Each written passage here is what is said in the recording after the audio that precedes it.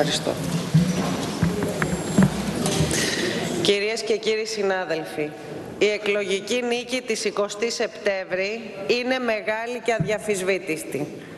Ο ΣΥΡΙΖΑ ακύρωσε το σενάριο της αριστερής παρένθεσης, επέφερε ένα σημαντικό ρήγμα στο σιδερένιο κλουβί της σημερινής Ευρώπης και επομένως επιτελεί σήμερα ρόλο εφαλτηρίου μετάβασης σε ένα νέο ευρωπαϊκό παράδειγμα αμφισβήτησης της λιτότητας που εγγενίασε ο νοφιλελευθερισμός. Το εκλογικό αποτέλεσμα κατέδειξε ότι ο ΣΥΡΙΖΑ συνιστά έκφραση ελπίδας, συνιστά εχέγγυο δημοκρατίας, αξιοπρέπειας και άσκησης κοινωνικής πολιτικής, όχι μόνο για την Ελλάδα, αλλά και για τους λαούς της Ευρώπης. Άλλωστε η συμβολή τους στην αλλαγή του συσχετισμού δυνάμεων στην Ευρώπη είναι πρόδειλη.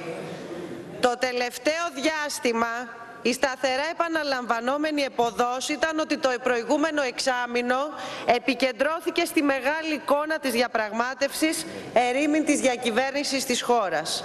Το τελευταίο διάστημα μας επιρρύπταται διαρκώς τη μομφή της διαρκούς εξουθένωσης της κοινωνίας χάρη μιας μακρόσυρτης και άγωνης περιπέτειας στην οποία εμπλέξαμε το λαό. Μέσα σε ένα δυσμενέστατο πλαίσιο χρηματοδοτικής ασφυξίας η κυβέρνηση τόλμησε να ψηφίσει σημαντικά νομοσχέδια που εκλαμβάνονταν ως μονομερείς ενέργειες και επούλωσαν πληγές της ελληνικής κοινωνίας. Το νομοσχέδιο για την ανθρωπιστική κρίση έδωσε τροφή, ρεύμα και στέγη σε περίπου 400.000 οικογένειες. Το νομοσχέδιο για τις 100 δόσεις ανάσας και αξιοπρέπεια σε χιλιάδες φυσικά και νομικά πρόσωπα. Απολυμμένοι συμπολίτες μας επέστρεψαν στις δουλειές τους. Έσπασε το λουκέτο της ΕΡΤ, καταργήθηκε το 5 ευρώ στα νοσοκομεία. Ναι, είναι αλήθεια ότι παλέψαμε έξι μήνες για ότι ουδέποτε υπερασπιστήκαμε το πάση θυσία συμφωνία. Αν το τελευταίο σημαίνει υπογράφουμε όποιο χαρτί μας φέρουν μπροστά μας. Ναι, είναι αλήθεια ότι έξι μήνες έγινε ένας υπεράνθρωπος αγώνας γιατί η συμφωνία για μας δεν είναι μια νεοφιλελεύθερη σκοπής ανάλγητη διεκπαιρέωση που ισοδυναμεί με κοινωνική αυτοκτονία. Διότι αν για κάποιους το μνημόνιο ακόμα και αν δεν υπήρχε θα έπρεπε να το εφεύρουμε, για μας ο στόχος είναι ο απεγκλωβισμός και η ανάκτηση της λαϊκής κυριαρχίας και της αξιοπρέπειας του πολίτη. Και αν για κάποιους η διαπραγμάτευση γινόταν με success stories, τα δικά μας όπλα ήταν να καταγγείλουμε ότι μια ευρωπαϊκή χώρα του 21ου αιώνα είχε 1,5 εκατομμύριο ανέργους και παιδιά που λιποθυμούν από την πείνα. Είχε αυτόχειρες και άστεγους, συσίτια και ανθρώπινα κουρέλια. Το δικό μας success story ήταν να δείξουμε ότι ένα μη βιώσιμο χρέος κάνει το βίο βίωτο και ότι ο βασιλιάς της Ευρωζώνης είναι γυμνός. Μέσα σε ένα βράδυ η Φίλιο συνειδητοποίησε την πολιτική διάσταση της κρίσης χρέους και η Γερμανία απόλυσε μισό αιώνα ηθικοπολιτικού της πλεονεκτήματος. Δεν το λέω εγώ αυτό, το λέω Γιούργεν Χάμπερ μας.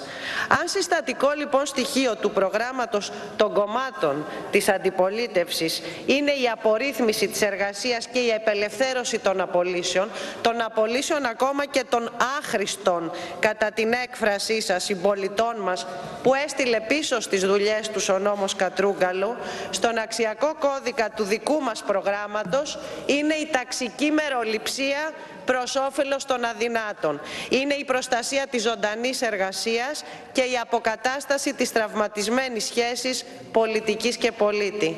Και αν για κάποιους από εσάς τα μνημόνια είναι ιδεολογική επιλογή, για μας είναι έξωθεν επιβεβλημένη αναγκαιότητα που πρέπει να υπερβούμε αντιτάσσοντας ισοδύναμα μέτρα. Η πάταξη της διαφθοράς, της φοροδιαφυγής και της διαπλοκής ενός αυτοαναπαραγόμενου πελατειακού κράτους δεν είναι ευχολόγιο. Δεν είναι αφηρημένη επίκληση ε, και αφηρημένη επίκληση της χρηστής διοίκησης που δεν χρειάζεται να είναι κανείς αριστερός για να την επικαλείται. Είναι ένα τελεσφόρο εργαλείο οικοδόμησης εξ νυχίλο ενός κράτους δικαίου που είναι ο μόνος δρόμος ισοπολιτείας και κοινωνικής δικαιοσύνης. Επιπλέον, το πακέτο των 35 δις με το νέο ΕΣΠΑ που καταφέραμε να διασφαλίσει 100% ευρωπαϊκή χρηματοδότηση και δίνει έμφαση όχι πλέον σε φαραωνικά έργα αλλά σε νέους επιστήμονες, στον τουρισμό και στις μικρομεσαίες επιχειρήσεις δημιουργεί έναν ορίζοντα ανάπτυξης που μπορεί να απεγκλωβίσει την κοινωνία από την εξαθλίωση που επέφεραν τα μνημόνια και να ξαναδώσει όραμα, προοπτική και ελπίδα στη νέα γενιά που καταδικάστηκε είτε στην ανεργία είτε στη μετανάστευση. Επειδή όμως εκτός από τα δημοσιονομικά μεγέθη, ο μακρύς δρόμος προς έναν ανθρωποκεντρικό μετασχηματισμό της κοινωνίας περνάει μέσα από την παιδεία και τη δημοκρατία και την αποκατάσταση της χαμένης τιμής της δημοκρατίας, έχουμε κάποια δείγματα γραφής. Και δημοκρατία σημαίνει ένα πιο ανθρώπινο σύστημα σοφρονισμού, που γκρεμίζει τη φυλακή μέσα στη φυλακή. Σημαίνει ηθαγένεια σε παιδιά μεταναστών και άριστα σχολεία για όλους. Σημαίνει χειραφέτηση από την αξιολόγηση παροδία και φαινάκι τιμωρίας και απολύσεων και δημοκρατικά εκλεγμένες διοικήσεις σε σχολεία και πανεπιστήμια.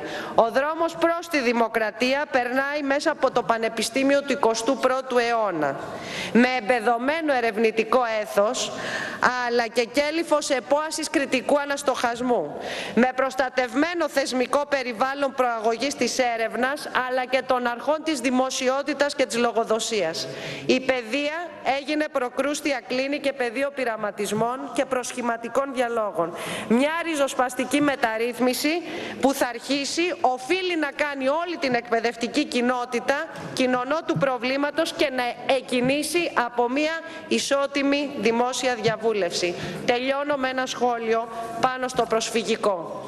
Στο τοπίο της κρίσης εισέβαλε ορμητικά η φιγούρα του πρόσφυγα να υπενθυμίζει την ασέλγεια πάνω στις ιδρυτικές αξίες και αρχές της Ευρώπης από όσους ύψωσαν φράγματα και σειρματοπλέγματα και κάναν τη Μεσόγειο το μεγαλύτερο υγρό τάφο που ξεβράζει πτώματα παιδιών. Η μετάφραση του δικού μας αξιακού πυρήνα των ανθρώπινων δικαιωμάτων σε πολιτικές υποδοχής και φιλοξενίας των προσφύγων μετέτρεψαν την Ελλάδα και σταδιακά τείνουν να μετατρέψουν την Ευρώπη από ένα απέραντο Κυρία στρατόπεδο Βάκη, δώστε το καλό παράδειγμα, είστε και κοινοβουλευτική εκπρόσωπος.